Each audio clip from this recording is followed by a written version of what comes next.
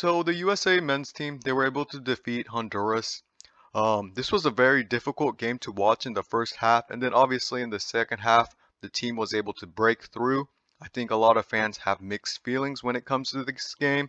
On one hand, we're happy to get the three points for the World Cup qualifier. However, on the other hand, it kind of keeps our coach um, and so a lot of people are a bit confused. However, I think that the consensus when it comes to the USA men's team's fans is the fact that Ricardo Pepi did really well. And I just want to show you what Landon Donovan had to say about his performance, as well as take a look at some of his cards on eBay and his rise in prices since that game. Hmm. What did you think of Pepi in particular, Landon? well, I've watched him a lot this year. My my associate head coach here at San Diego Loyal coached against him in USL League One two years ago, and so they they are very high on him, and they've been high on him for a long time uh, before he started playing games for FC Dallas. What I thought was interesting was that as the game wore on, he was you know somewhat effective early on but you I was anticipating him coming off the field at some point. I was just sort of waiting for the the sub numbers to come up and see his number. And it's a credit to his fitness that he was able to in his first qualifier stay on the field and, and keep going. And then a credit to Greg's just keeping him on because he sees what everyone at FC Dallas sees, which is in a second that guy can change the game and he's competitive. Forget about the goal scoring. He's competitive. He works hard. He like really grinds when he plays.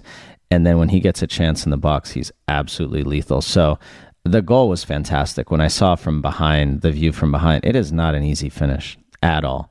And um, I don't want to be hyperbolic here or too dramatic, but like that's as big a goal for that team as as they've scored in a long time.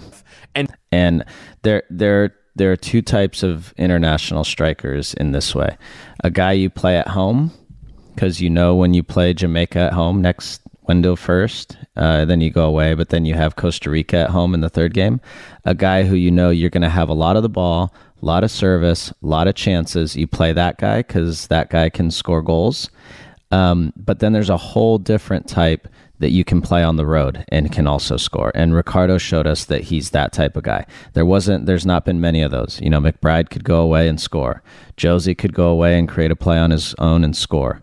And that that is a totally different element. And when we talked about, you know, I thought Josh Sargent might struggle a little bit in El Salvador. Josh Sargent at home is probably the right call with lots of chances in front of goal um, and maybe play him with Ricardo.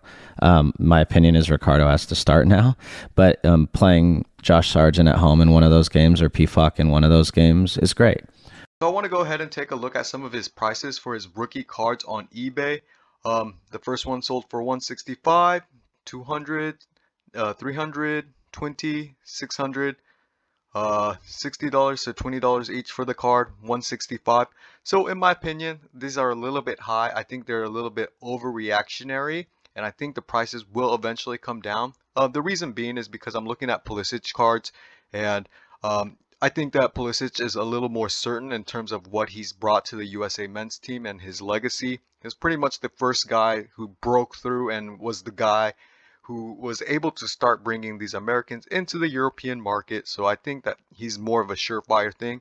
And the fact that um, Ricardo Pepi's cards are going for the same price as, um, or actually more than Christian Pulisic's cards, um, I think that's a little bit overreactionary at the moment. However, in the coming weeks, in the more in October, whenever there are more USA men's team games for the qualifiers, I believe that we'll get a better look at Ricardo Pepi.